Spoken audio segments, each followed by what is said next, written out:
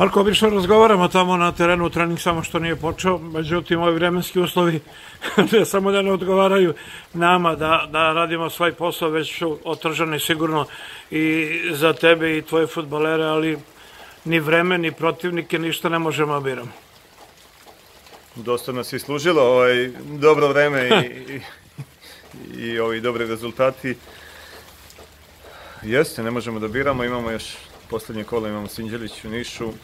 uslovi vidite kakvi su zadnja dva, tri dana, nadamo se da će to biti bolje, pitanje kako, kako će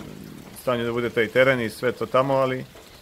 moramo otići tamo sa jasnom ambicijom, ambicije su nam uvek iste da dobijemo utakmicu, da li igrali ovde, da li gostovali,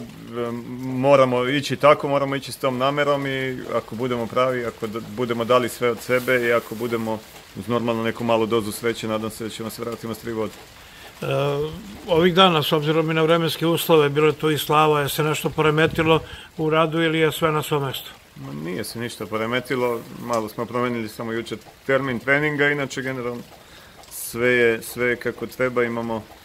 kompletan te igrački kadar i nadamo se da ćemo da napravimo dobru stvar preksutra u, u Nišu. Ovo je tvoja deveta utakmica, Eh, od kako si došao, jedinstvo iz Paraćena je prva, ja sam sve to postavio na portalu, a i na portalu sam malo govorio o nekim detaljima koji su van o kojima nećem sa tobom, ali kad se završi prvenstvo, napravit ćemo analizu uh, svega, uh, kakva je situacija bila u Radničkom, uh,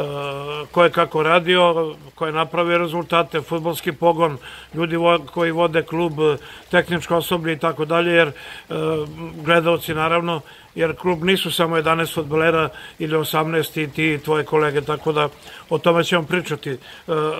ne samo sa tobom, već i sa još nekima. E, pretpostavljam da futboleri i ti znate svoj cilj i da bez obzira na to i tamo po nešto što se događa i u srpskom futbolu i ovde i u klubu i oko kluba, da vas to ne, ne uzdrmava. Ma ne, sigurno. Ovaj,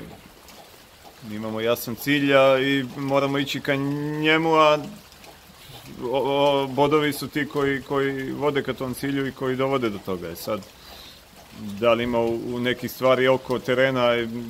sa ove druge strane tamo ili koliko ih ima, nije sad moje o tome da pričam, jednostavno voleo bi da igrači, a i stručni štab i svi zadržimo ove dva, tri dana fokus samo na toj utakmici, onda stvarno ima puno vremena do nastavka sledeće sezone. Treba neke stvari ovaj pročešljati, treba neke stvari stabilizovati, treba opet normalno ovaj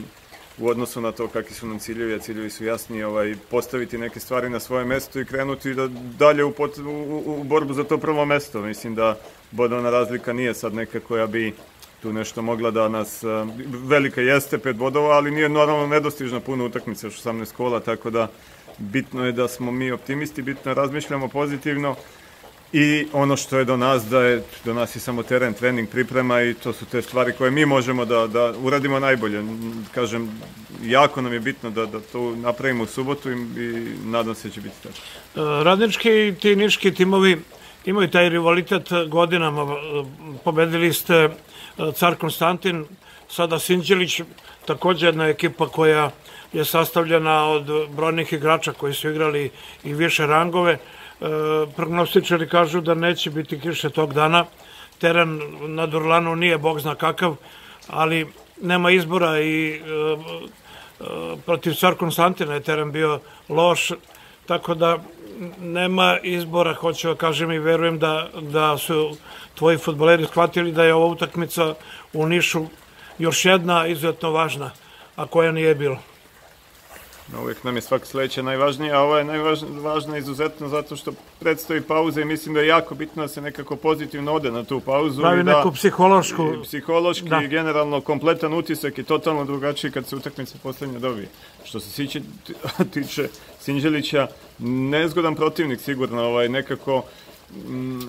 nisu konstantni ovih 15-16 kola koliko se odigralo, ali evo, recimo, po meni jako iznenađujući su dobili u Mrštane 3-1, sada bi to prilično ubedljivo i to dobrom igrom, a pre toga su recimo napravili kiks kući protiv Dunava. I ubedljivo izgubili od Temnića. Znači jedna ekipa koja nema neku konstantu, ali svakoga, dobili su Jagodinu, svakoga mogu da iznenade, ovaj, nezgodni sigurno jesu, imaju kvaliteta, pogotovo imaju kvaliteta kad napred, tu mislim na Kaličanina, Stefanovića i na Ikića,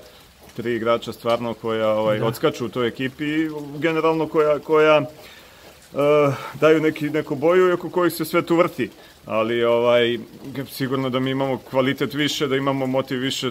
nadam se da će to da bude tako i da, da s pravim pristupom kao što je tu negde bio, eto, naveli ste ovaj, caj protiv Caragora isto u Nišu, da, da ćemo doneti tri godine.